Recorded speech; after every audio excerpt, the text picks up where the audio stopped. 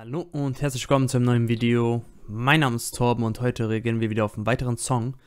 Und zwar ist es Joyner Lucas, I'm Sorry.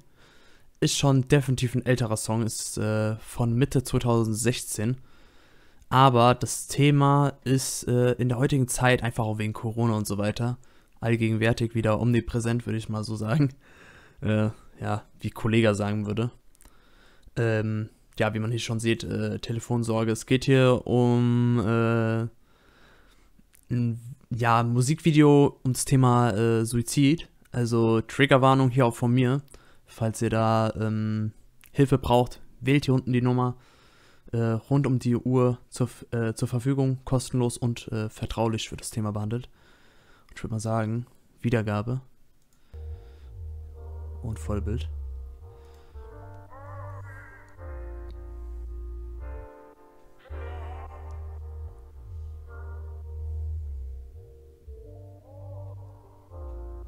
Call me a coward. Say that I'm not strong because I'm not like you.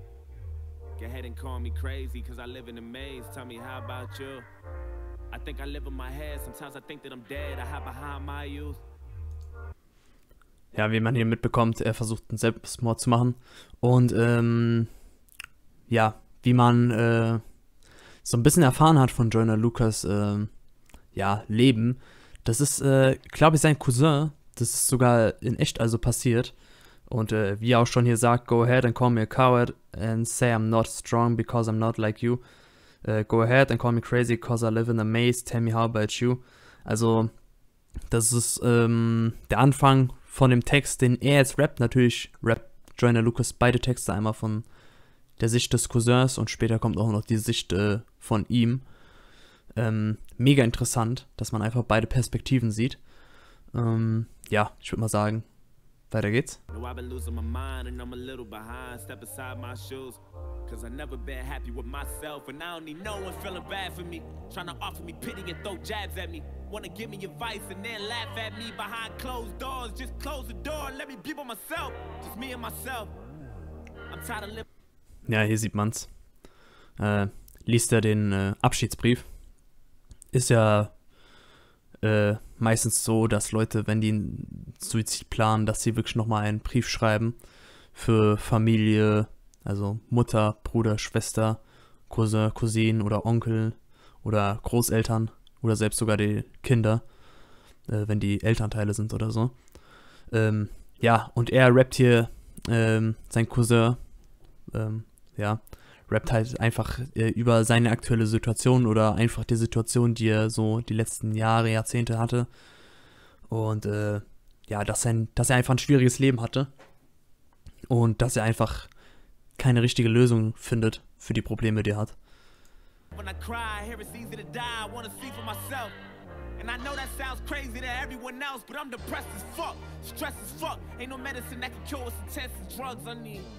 I need extra love, and that ain't even enough. So that ain't even enough. And where the fuck is God? Damn. Maybe I ain't believing enough, but today we gonna see if he's real. And if he is, then I guess I'm probably going to hell. Look, I ain't wanna die like this. I ain't picture my life like this.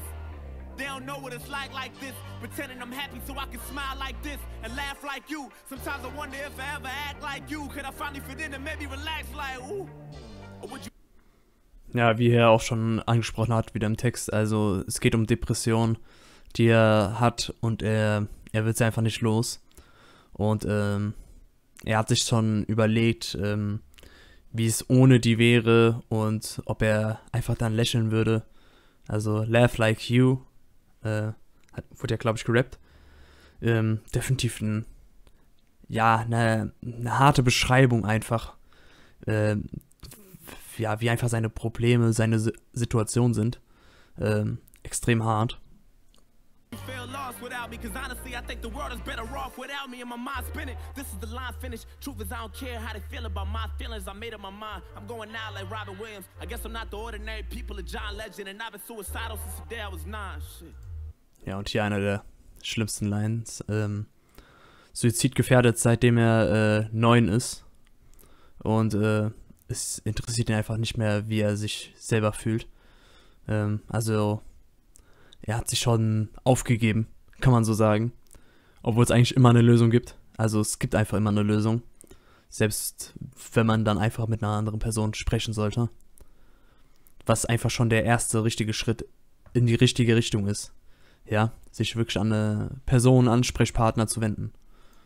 Okay, the day I was nine, I've been tired of being bullied, couldn't stay out the fire. Grandma told me I should take it one day at a time, and damn it, look at. Ja, hier spricht das auch an, ähm, äh, Bullying, also, ähm, ja, das Mobbing-Thema ist, äh, ich denke mal, bei vielen Kindern. Kinder können gegenseitig asozial hoch 10 sein.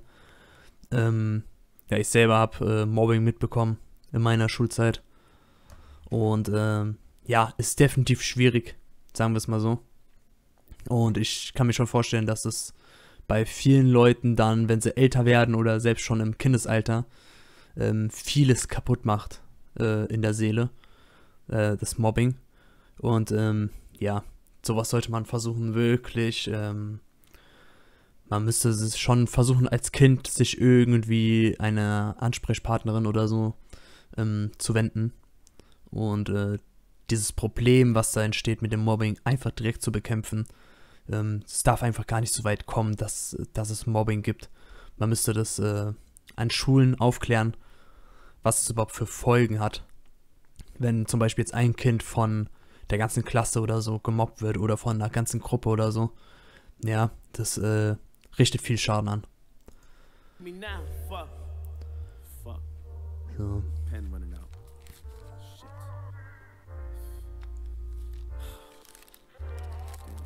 Knows a new day, but if you're reading this, then it's probably too late. Just make sure you tell my family it's okay. Ja, wie man jetzt gesehen hat, er hat äh, er konnte nicht mal mehr den Abschiedsbrief fertig schreiben, denn der Stift ist äh, leer gegangen. Und ähm, ja, dann hat er es einfach gemacht. Hat sich selbst erschossen. Und äh, ja, jetzt folgt die Szene, wo Joyner Lucas sein Cousin ähm, tot in der Wohnung findet, im Haus. Ähm, ja, extrem hart. Sorry,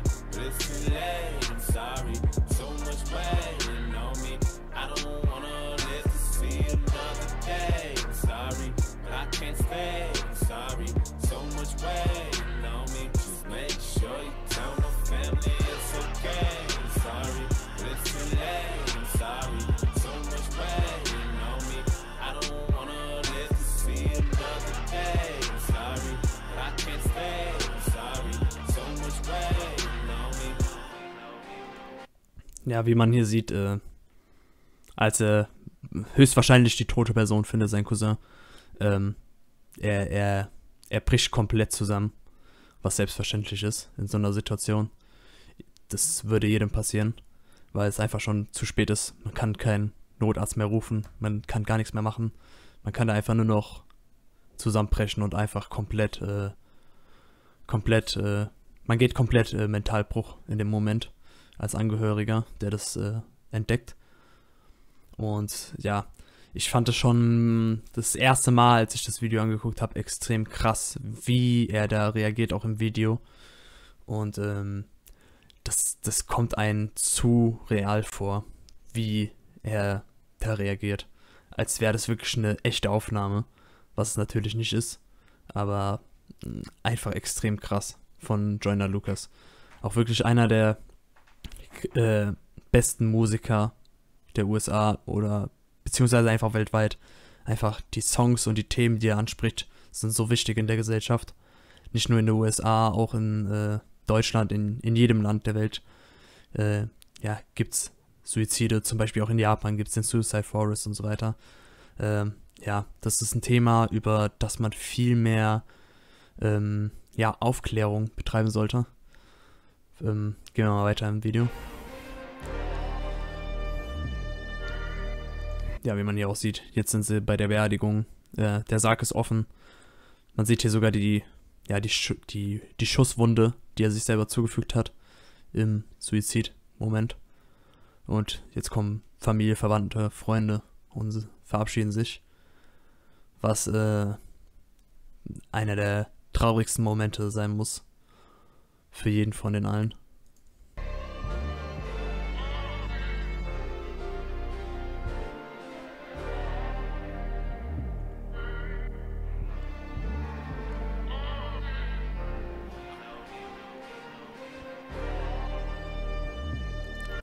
So, und nun folgt der Switch, wo Joyner Lucas anfängt, aus seiner Sicht zu rappen, wie er das äh, gesehen hat, sagen wir es mal so, ähm, den Suizid seines Cousins. Und hier im Hintergrund, ähm, wenn ich es richtig mitbekommen habe, ähm, müsste aber so sein, das ist der Vater, äh, beziehungsweise der Onkel von Joyner Lucas, also der Vater vom, ähm, ja, seinem Cousin, der sich umgebracht hat mit dem Kopfschuss. Was ich auch extrem krass finde, dass äh, ja er hier ja so eine Art äh, ja äh, Pastor, Priester, kann man es so nennen, spielt.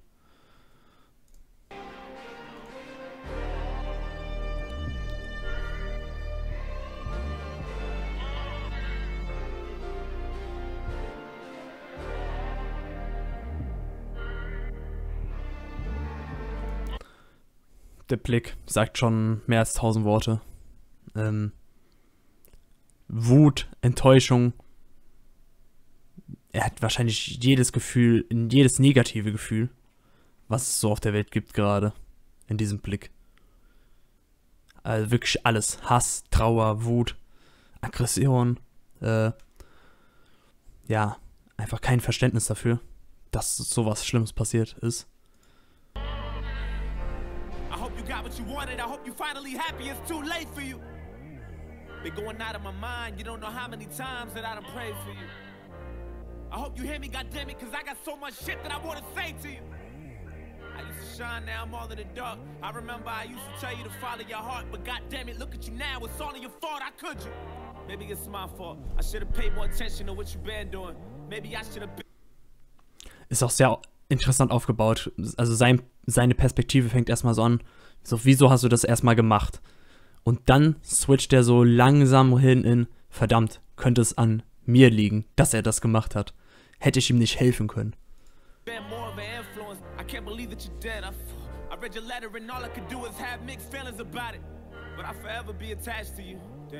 Part of me feels bad for you. Part of me feel like you weak and I'm mad at you. And now I mean to be insensitive, but I don't understand how we couldn't prevent this shit. You took the easy way out. God damn it, you did. I mean, look what you did. I'm so fucking upset. How could you be so selfish? Nigga.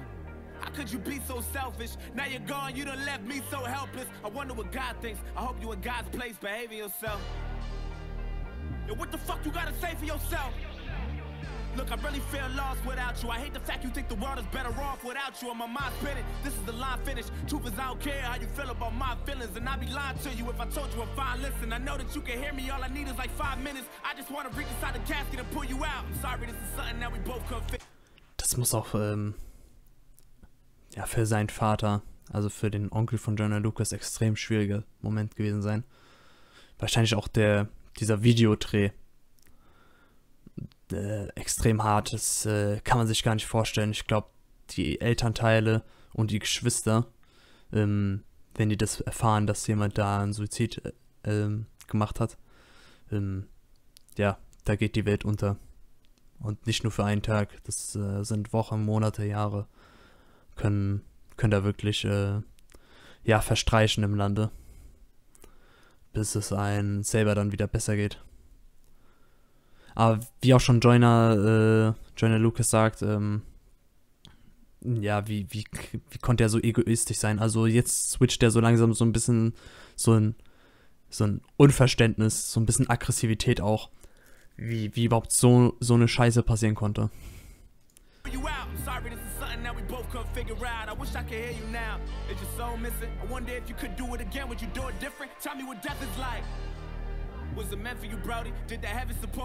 Ja, Brody, da sagt er sogar den Namen.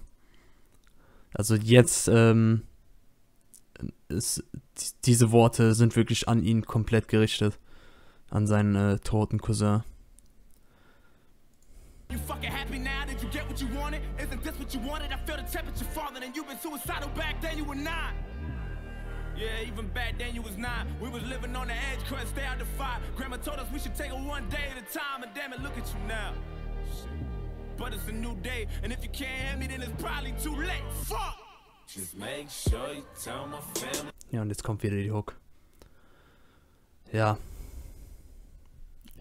Das, das äh, ich könnte jetzt die Lyrics ähm, euch noch vorlesen, aber ähm, könnt ihr auch gerne googeln und einfach mal den Song abspielen und dann einfach euch mal den Text durchlesen von beiden Perspektiven plus zweimal die Hooks. Also ähm, das ist äh, zu krass. Einfach zu krass.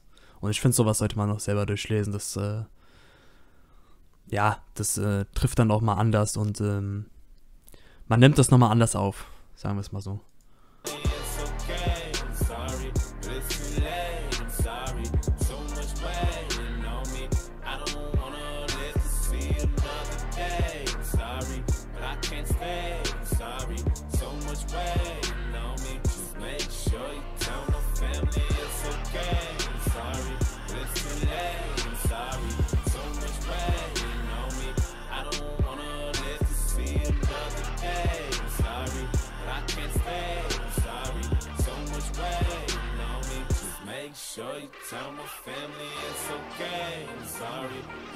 Ja.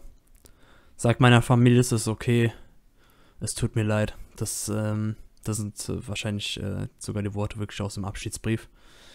Und äh, wie man hier sieht, der, ja, der Pastor, der, der Priester, ähm, der, der Vater ist, der, der Onkel von Joyner, versucht ihn jetzt so ein bisschen zu beruhigen, weil er halt wieder komplett zusammengebrochen ist.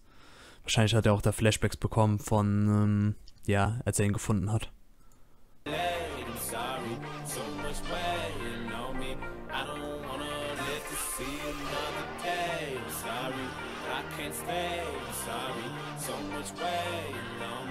Make sure you tell my family it's okay. I'm sorry, it's too late.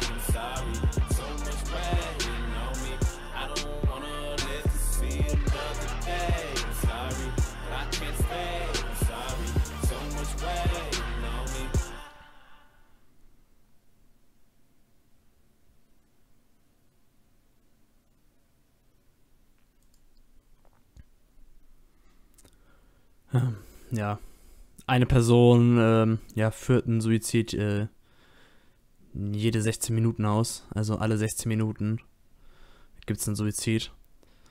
Ähm, ist wahrscheinlich jetzt eine Statistik von 2015 oder so oder von dem aktuellen Jahr, wo der Song rauskam. Gehe ich mal davon aus. Könnte auch anders sein. Vielleicht von den letzten Jahrzehnten oder so zusammengerechnet und dann Durchschnitt genommen.